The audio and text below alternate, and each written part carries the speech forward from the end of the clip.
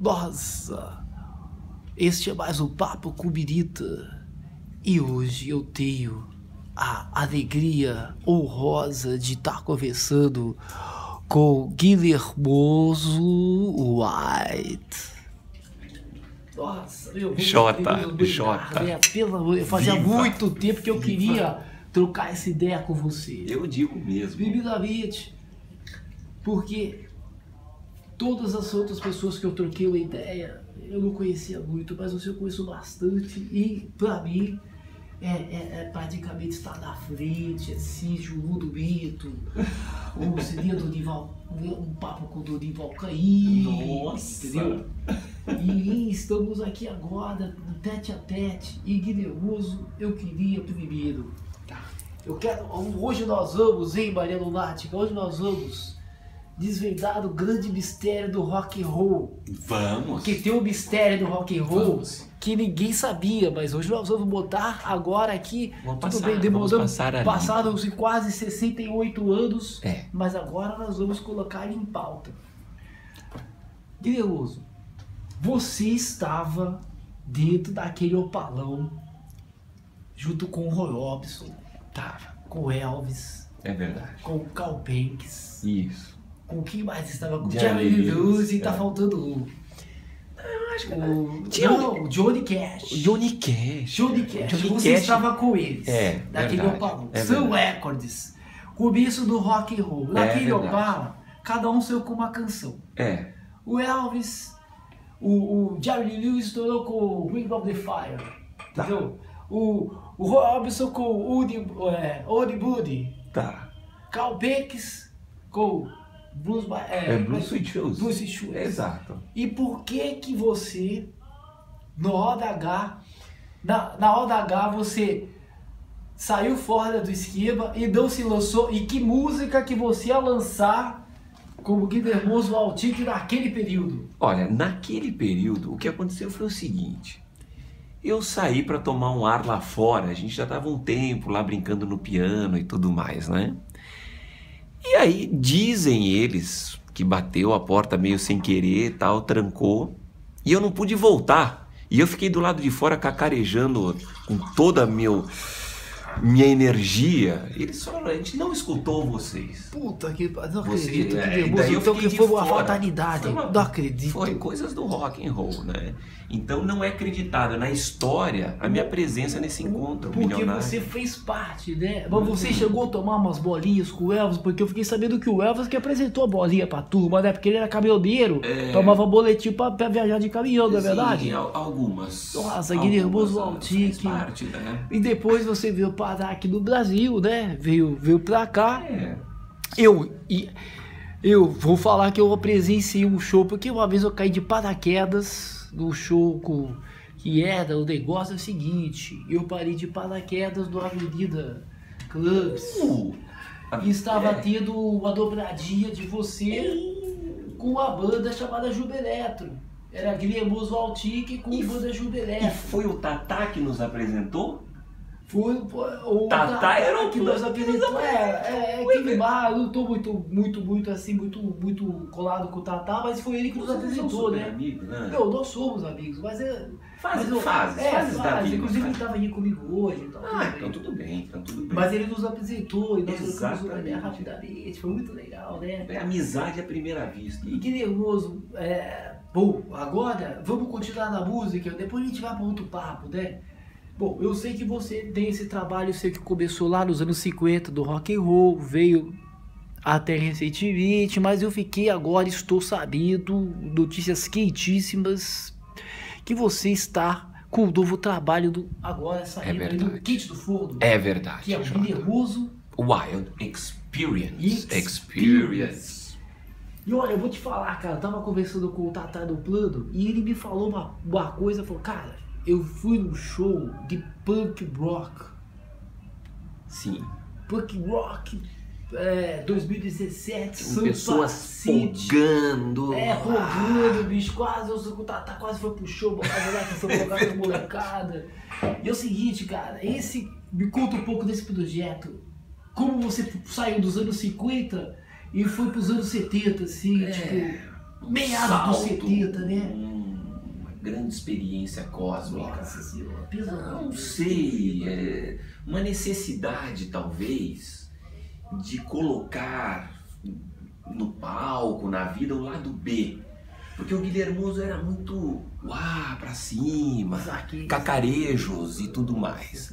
Agora é uma coisa assim, o lado B, né? uma coisa mais pesada, mais densa, com humor, mas um humor ácido, Nossa. coisa ficou mais, ass- né? Pois é, cara, e você não sabe que o Tata Aeroplano botou uma música sua lá, né? Que é, que é, que é a música lá, caos, caos, a minha Caos. vida está um caos. Caos, caos. Caos, caos, a minha vida está um caos. que é Caos, praticamente um hit dos anos 2017, Ah, entendeu? é. Que não tem mais o que dividiu aqui pra falar, mas é assim, é equivalente ao, ao tique-tique nervoso. Olha. Ao, é, o Soul Boy, que sabe quando, quando eu era garotinho, né? Tá. Eu dormi na casa de vovó, né? Vovó, era- vovó morava assim, de trás pro, pro, pro uma discoteca que tinha. Ah, não fala isso, Jota. Você tá falando É sério. verdade, eu não, não dormia, passava a madrugada de um vídeo, o vídeo aceso na, no som da discoteca. E essas músicas tocavam, né? Os hits, né? Os grandes falar, hits. né? E nossa, que nervoso, eu, eu nem sei mais o que te falar, porque a, a filosofia da música é um negócio que é, é transcendental, né?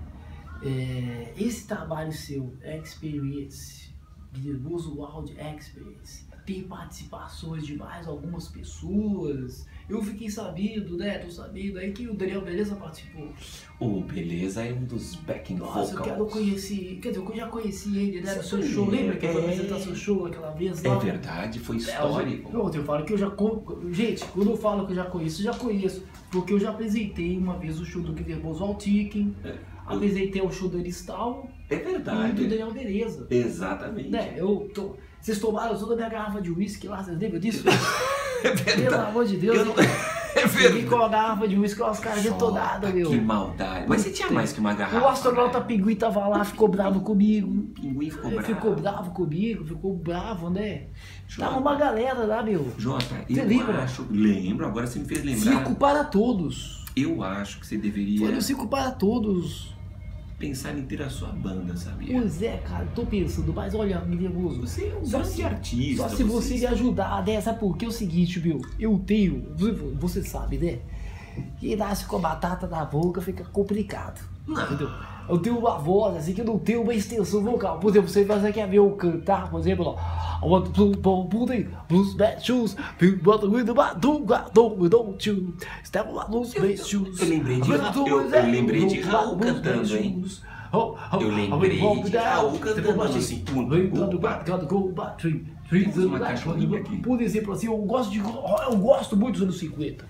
Pretty woman, Pretty walking down the street, pretty woman. Então é isso, eu gosto de cantar. Mas se você me ajudar, de repente a gente monta uma banda junto. Ou, ou, ou, ou podemos trazer o Alexandre Jalan também, pra fazer um negócio com nós, né? Nossa, é Jota, bacana. eu acho que você tem um jeito muito particular assim de pronunciar as palavras com elegância, uma inflexão própria. Precisando da dicção. A gente estava cantando e eu estava elogiando o seu jeito peculiar De cantar, de dicção, de né? dicção, de Nossa, falar, de de cantar. de. Isso é o grande charme da música. Então, com certeza, né? Olha, eu tô. vou- Eu, sabe o que Deus? Eu vou falar pra você agora, né? Eu, um negócio assim, cara, eu sou. Eu tô agora, meu, tô muito triste essa semana. Por quê? Muito triste, porque é o seguinte, eu tava lendo um livro, Tá. tava empolgadíssimo, empolgadíssimo, empolgadíssimo. Há cinco anos que eu tava lendo Galápagos, o livro do Kurt Vonnegut. Tá. Eu tinha chegado na página 12, meu, perdi o livro da rua. Tanto Tava esforço dar aconteceu. cultura, né? Não, você não perdeu o livro. Então, gente, eu perdi o livro, então eu fiquei muito triste. Não. Eu falo assim, ó, pô, meu, eu não sou parei, sabe? Eu não sou um cara de leitura, entendeu? Então, quem sabe, que vai, eu queria escrever, mas não sei escrever. Daí, quem Ah, sabe a música, né? isso. Você tá me dando incentivo, Eu tô porque... incentivando mesmo. Nossa, meu, puta, muito bacana. Eu vou pensar com carinho. Você viu? inspira tantas pessoas, você me inspira muito. Nossa, muito obrigado. Às vezes eu tô caminhando aí pelas ruas, né, da cidade e lembro de você, Jota, e você sabe que isso é verdade. Eu falo, que inspiração que o Vamos Jota brindar, é. né? Pô, vamos brindar, vamos mesmo. Olha só, você sabe, então, vamos pensando agora aqui, ó, para falar com você um pouco sobre. Nós estamos lá dos anos 50, né? Você ficou. Você estava com os meninos todos. Todos. Todos. Roy Robson. Elvis, Jerry Lee, Carl Chuck Berry. E você sabe que o Tata me disse que você, um dia, o dia que vocês se conheceram, o Tata tava lá participando do show do Los Pirata. Ah, eu Tava participando do show do Los Pirata. E ele disse que do ensaio, antes, vocês não se conheceram nos ensaios, se conheceram no dia do show. E o, o louco, o Paco, Sim, eles chegaram, Jesus. Jesus, eles chegaram falando pro Tata assim, nossa Tata, você vai conhecer o cara que vai mudar a sua vida, você vai, Guilhermoso é a lenda, é o seu nome, isso aqui. E quando você chegou no camarim, isso o Tata me disse, e o Tata fica até emocionado quando ele me fala essa história. Quando chegou no camarim, meu, você tava com tipo cinco DVDs do Roy Orbison. É verdade. E presenteou É verdade. cada integrante, É cada pessoa da equipe. E o mais legal, um Jota, DVD do Roy Orbison. E- Isso é e eu não sabia. Todo bem- mundo curtiu muito. Mas o Tatá, ele falou que ele amava o Roy Orbison, que tinha histórias pessoais com relação ao Roy Orbison e tal. E foi muito legal isso, que foi uma, uma ligação que eu tive com o Tatá através do Roy Orbison. E teve uma vez que foi muito marcante. O Tatá, é, ele me convidou um dia, ele falou, pô, vamos lá em casa para tomar uma cerveja, a gente fica escutando um som. E o Tatá, ele botou o disco do Roy Orbison. Hum, E eu e ele, a gente ficou sentado lá, tal, não sei o quê. A gente escutava uma música. No intervalo de uma música para outra, um olhava para o outro. Meu, que música! Foi um dos encontros mais legais que eu já tive. Uma coisa assim que... Uma suspensão do tempo, assim, na cidade. de Era- contemplação, é. né? Ah, o Tatá, Nossa, só, também só cara, elogios para fazer Eu vou para ele, falar né? o seguinte, meu. Eu, isso- essa história aí, eu fiquei sabendo também. É, porque, como eu sou seu fã, né? Eu E eu sou tal. seu fã também mesmo. Aí o Tatá me conta várias histórias. E contou essa história que vocês caras contando o Roy Robson, canção por canção, né? Antológico esse encontro. É, finalizando aí, tô sabendo que você vai estar estourando aí já logo mais nas plataformas digitais com, com o novo álbum, o Experience, que nervoso White Experience, que é um showzaço que eu já tô ligado. Então, quem tá me dando a maior força, aliás, meu grande guru, justamente o Tatá, né? Ah, não acredito. pelo Sério? Deus, Aí parece que vai ficar sendo.